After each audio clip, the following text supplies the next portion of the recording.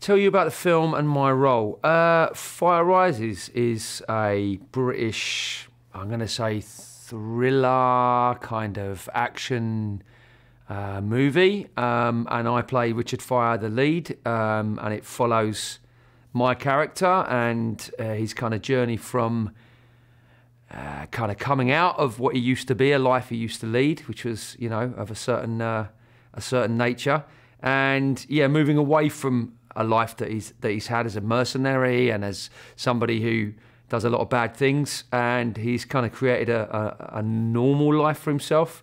However, unfortunately, through circumstance and um, pressures, he kind of gets pulled back into that world. Uh, and yeah, from there onwards, the movie takes a, a, a different journey back a into that world, but b also into a bit of a revenge movie as well, a bit of a revenge story. So yeah, there's lots of elements to that. Um, but yeah, to sort of summarise the, the film in, in, itself, it does go through those genres. There's lots of action in there. There's lots of um, um, lots of performance stuff as well as you follow like Richard Fyre go through these stages, which is quite nice, especially for me as an actor because you can kind of start in one place and end in, in, in another. So the arc of the film is, um, yeah, it kind of goes through the genres. Uh, how did I get involved in the film? I got a call from Damien, um, the producer, one of the producers, one day, um, one Wednesday afternoon, and I really specifically remember that because I was shooting a self tape for another movie at the time, uh, and I remember sitting in my my room where I was sort of set up the studio and stuff, and uh, got this call, and yeah, it was from Damien who had this movie, um, and he knew my work through Greg, Greg Hall, who I know you guys have spoke to a few times, and is sort of a writing partner of mine, and we've done lots of work over the years. And yeah, they they needed an actor. They needed somebody that they could trust to kind of come on board quite short. Um, there were a few um, pre-production issues in terms of people dropping out and people changing. Often the case in you know the, the business that we do. Um, but this was very last minute. So yeah, I got a call on the Wednesday afternoon. I had to write. I asked for the script. I had a couple of hours to read it, and kind of really had to make a decision very quickly whether I was going to uh, get on board with it. And um, yeah, by the afternoon, I'd, I'd rung Damien back and another, another conversation with him. Um, and yeah, suddenly um, I think six days later, which is why I remember it's a Wednesday, Thursday, Friday, Saturday, Sunday, Monday. So five days, if you don't include the Wednesday, um, it was day one for the shoot. So not the most prep time I've ever had. Every job you feel under pressure, you know, um, because you care and you always want to do everything you can. There is, there is a thinking behind over preparing. I would say that. Um, I am an actor who does like to be prepared. I normally do a lot of work in terms of prep um, in terms of research, script work, character work, even just sitting in imagination, all that kind of stuff. But uh, luckily, I've been doing this a long time. I think this was maybe my 13th or 14th feature over the years. So it was something um, something I was quite used to because also as a as an unestablished actor in terms of you know nobody calls me six months before and gets me on board. It's normally quite last minute, or I'm auditioning for a role and the dates are already in place. You often don't have a lot of time to prep anyway. So what you get as a as a as a good old fashioned jobbing actor is very good at prepping very quickly. And so, yeah, there was a pressure, but um, once I'd accepted the job and started talking to Paul, the director, we could have conversations on what he wanted or the things that I had expectations for for the role.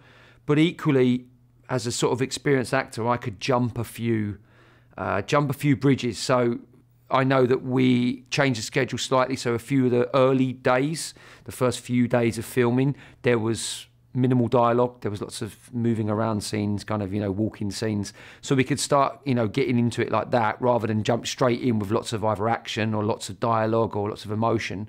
So there was a kind of almost like prepare each day kind of thing going on. As long as I knew in terms of the schedule, I could prep each night, each day. And I would do that anyway. You know, if I was on a shoot for three and a half weeks, I would, you can do all the prep you, you, you want, but you would always be preparing anyway as you go along. So you know the dailies you're going to be shooting these scenes, and even though you've got all your notes and got all your research, you'd be looking back over those over lunch, over breakfast, over in between doing stuff. Um, and then, like I say, there was a few shortcuts I found. Uh, a friend of mine, um, a very good friend of mine, is also a filmmaker, very into his scores, David Hillman. He, I said to him, listen, this is the role, this is the film. And I kind of pitched it to him in this kind of mad frenzy of a phone call. I said, give me some music. And so he created this great Dropbox for me that was full of music that really matched kind of the scenes, the kind of essence of some of the emotions and the arc that this character went through. And I really used that as a really quite nice baseline. And actually, you know, everyone kind of knows whether you're an actor or not. You know, you listen to certain music, it gets you in a certain frame of mind, certain thought process, certain emotional state. And so I kind of used that as a framework. And then I just built the character almost day by day. You know, we were shooting and shooting, and it was one of those films, and you hear actors talk about this a lot. By the end of the shoot, you go, I know this character. Can we start again? Can we start again from the beginning? But um, so there was pressure in that sense, but equally, I think the the really nice thing is the set and the way that the, we shot this movie was very family orientated. We were together a lot of the time. You know, I was working very closely with Paul, the director, and um, Harvey, the cinematographer, and and and, the, and all the crew, actually, all the team. We were together every day. You know, even in one part, well, three or four parts of the movie, we were even staying in the same place for three or four days, or maybe I think we were in the hotel for maybe five days, and then we were in Spain for I think five six days. So there were chunks where we were together a lot. So that pressure. I suppose that took the pressure off a little bit because we could always talk about it. There was always room to talk about what we're doing tomorrow, how we're going to do that, how's that going to look. So in that regard, um, that was a help. Really excited. I was really excited. Yeah, I thought I thought the movie had lots of really interesting bits about it. I think for me as an actor, you know, I've been sent scripts. I'm going to say like this before, and all I mean by that is this kind of genre movies that are very British and very thriller-esque and, and revenge-esque. However, what I really liked about this movie particularly is that is that arc that Fyre goes on. You know, he starts in one place. He's got history you don't know about things happen to him that then draws him to a different place and actually towards the end he ends up a very different person so that was exciting to prep for and, and to look at that and, and uh, although we didn't shoot linear we didn't start here go there and end there there was a little bit of that in the way that we shot so that was exciting for me there were you know there was always a physical prep to it. I know there was going to be a lot of lot of action so i know that there was a couple of stunt teams that i worked with which was really good. And again we were lucky enough to have time. Not as much time as you'd love. I mean, bigger budgets, you might, you know, I just came off a thing last year where I spent, I think, the first week not even on set, just with the stunt team. You know, every day we were in the gym going through all the stunt stuff, all the fight stuff, all the prep stuff, all the horse riding, all that kind of stuff. We didn't have the time or the money to do this, and you rarely do on British movies, um, and you rarely do in TV as well. So, you know, in that regard, you kind of just have to jump in with both feet.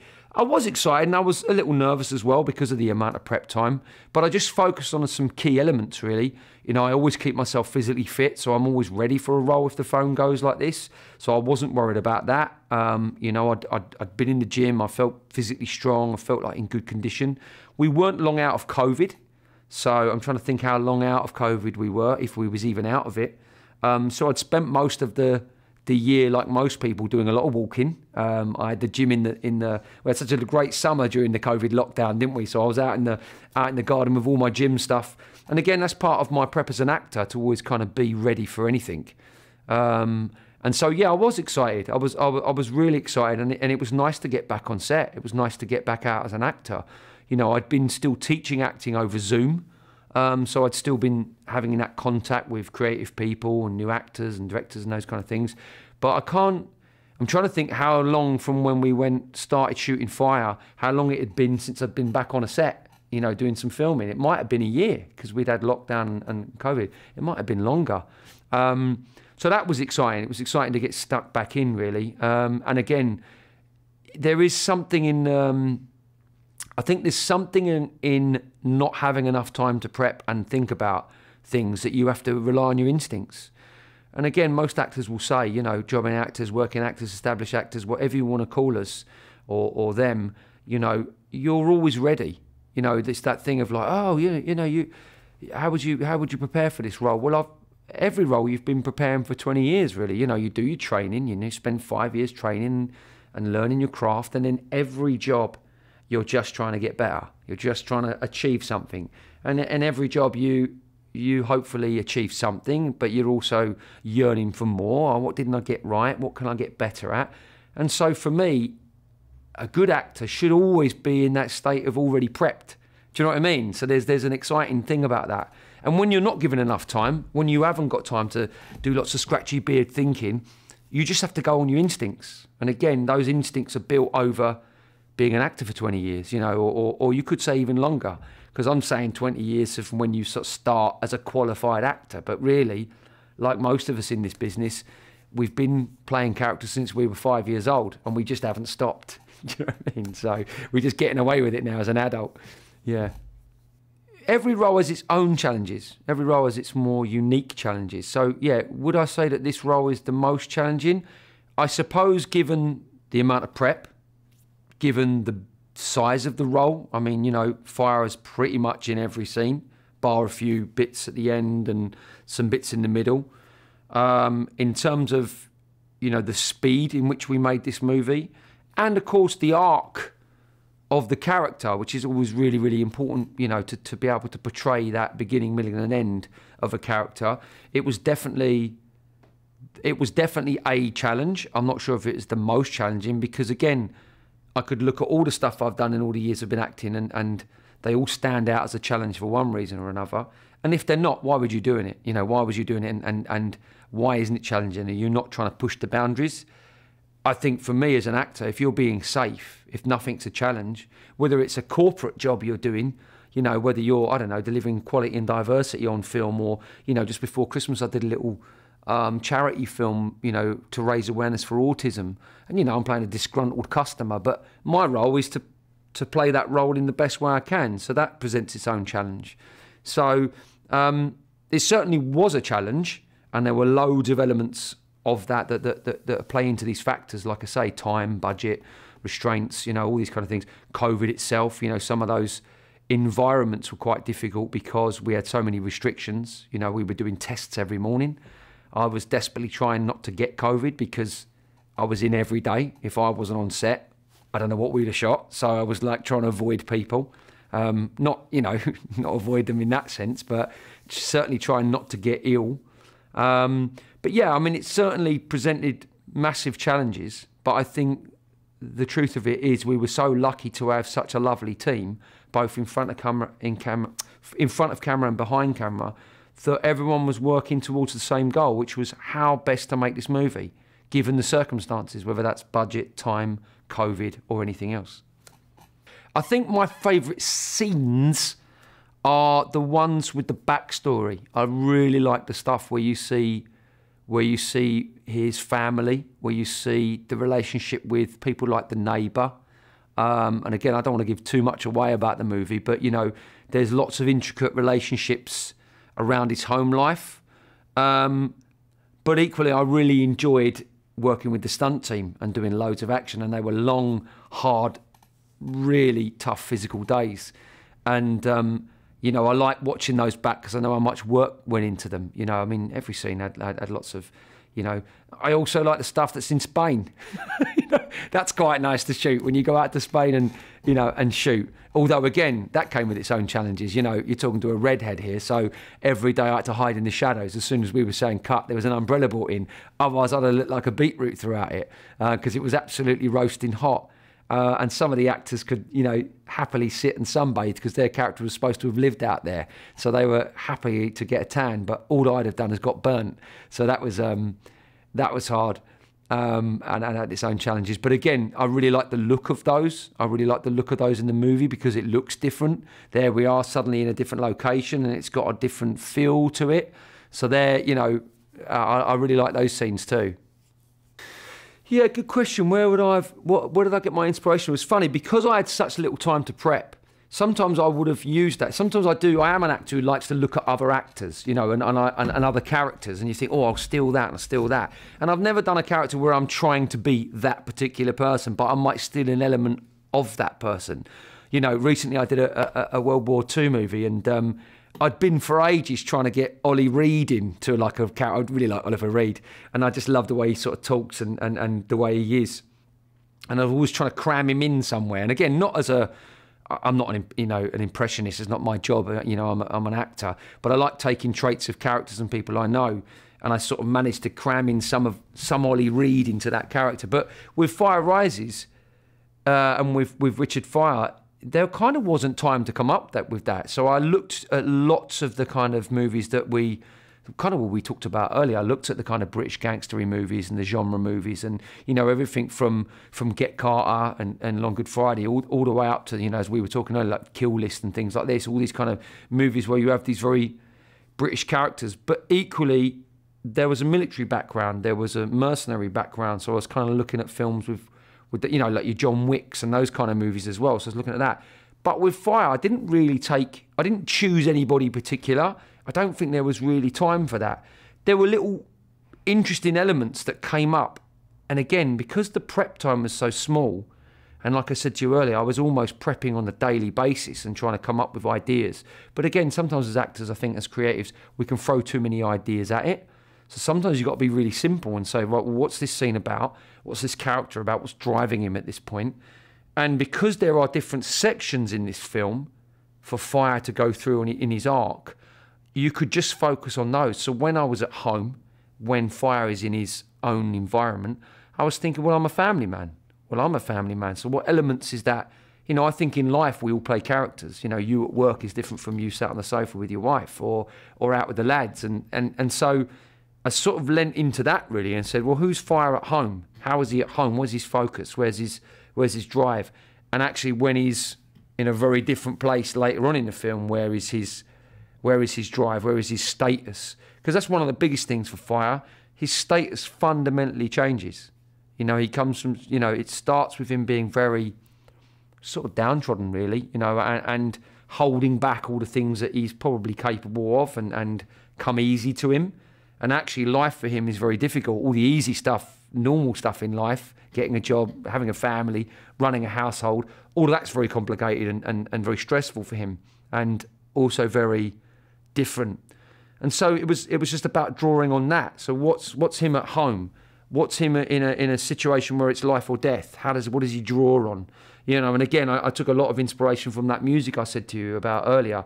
What I did with this script, and I've done ever since actually, is I took the music that that my friend David got for me, and I chose pieces of music that that made me feel like ah, this is this song. This bit of the film is this piece of music and this piece of this, you know, and and there was even things like, you know, like his wife, you know, the character, you know, and I and I found a piece of music. I thought, yeah, this is him home with his wife. This is her piece, you know, and I would call it Maddie, you know, I'd call it names that that, that related to those characters, you know. So that that was really um, that was really helpful for me to draw on that because again, you know, suddenly one day you're you, you, might only be seven days into the shoot and already you're in this really big scene, emotional scene. You've just met these actors.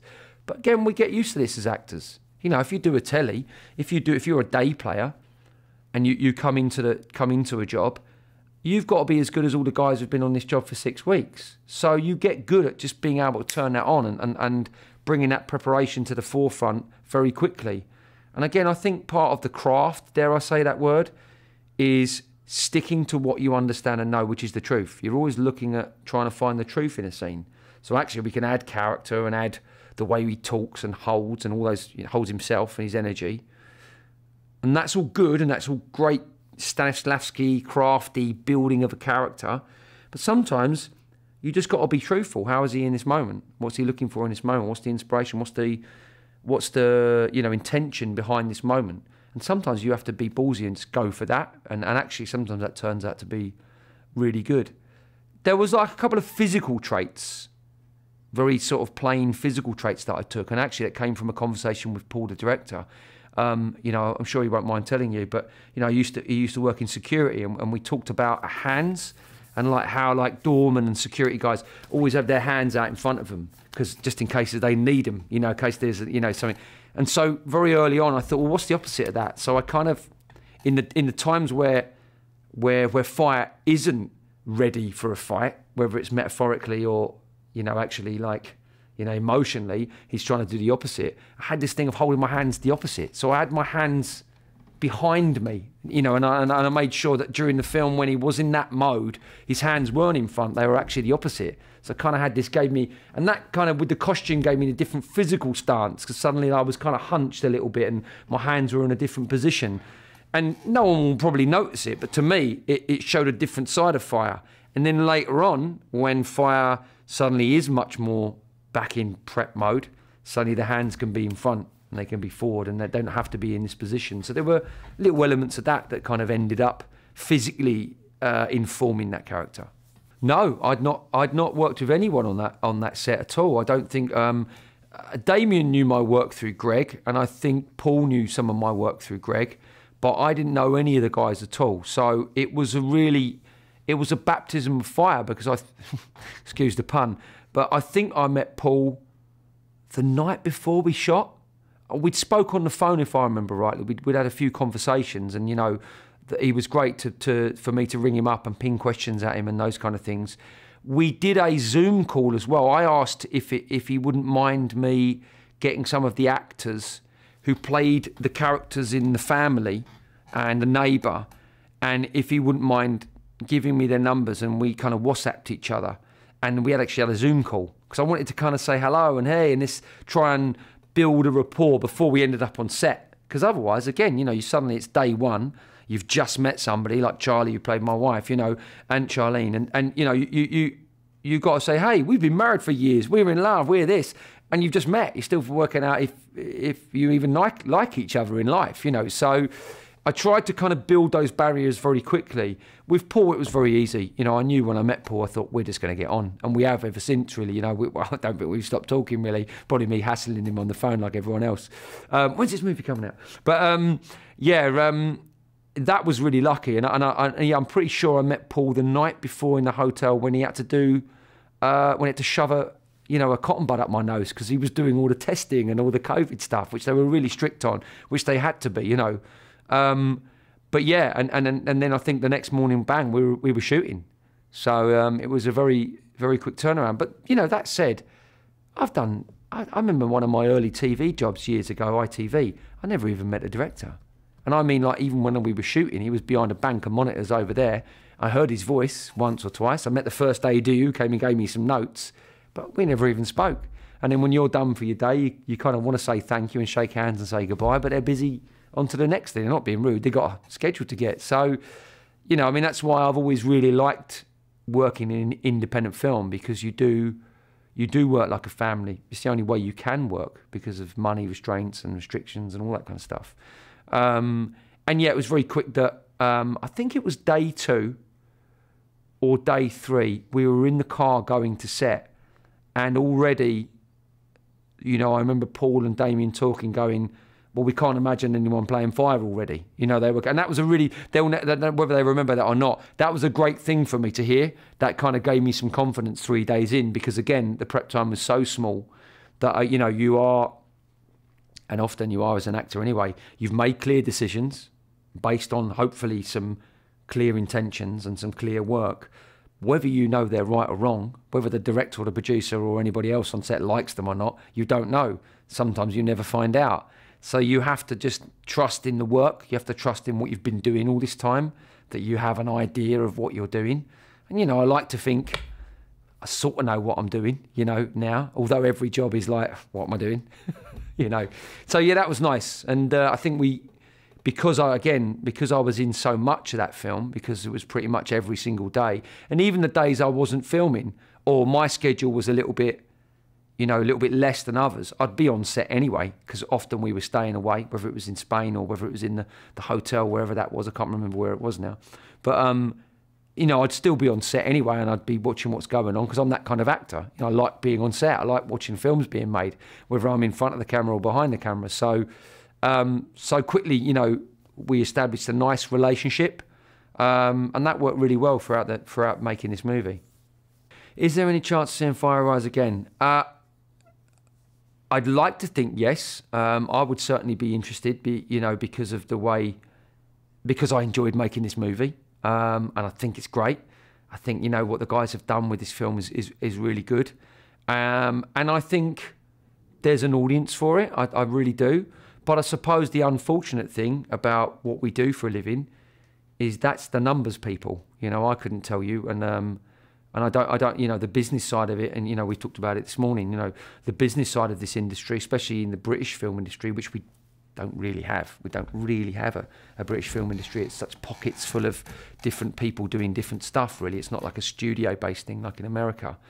Um, I think the decision will be probably to do with money.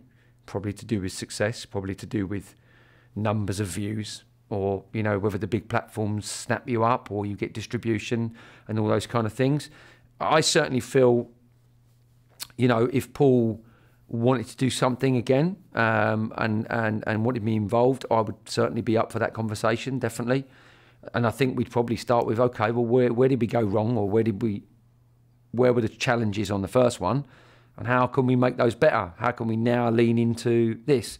And you'd like to think, I suppose that's why you'd like to think it's why people do sequels, not just because there's a producer somewhere or the money people want to make more money. You'd like to think that you want to investigate that character a little bit more there's a lot more life in this character. There's a lot more life in this story, I think. So for that reason, it would be good to, to delve in.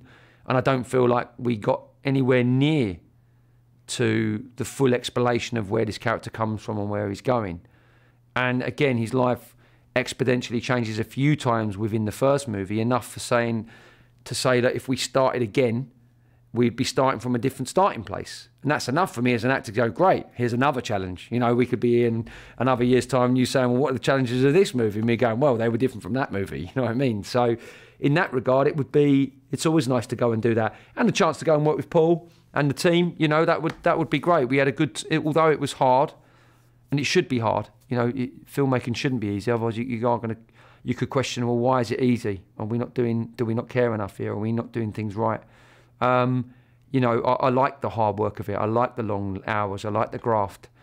Well, I, am sure, you know, that, that, that, Paul and his team would, would talk about doing things differently, potentially for them, the things that they wanted to do and explore for the, for another movie. But yeah, I would, um, I'd certainly be up for it if, you know, me and Paul wanted to, to talk about doing that. Yeah. Yeah, thanks very much for um, seeing us, John. It's been great to come down and, and, and talk to BritFlicks. I know that um, uh, you you guys do a really good job um, in terms of pushing British film and, and independent film as well.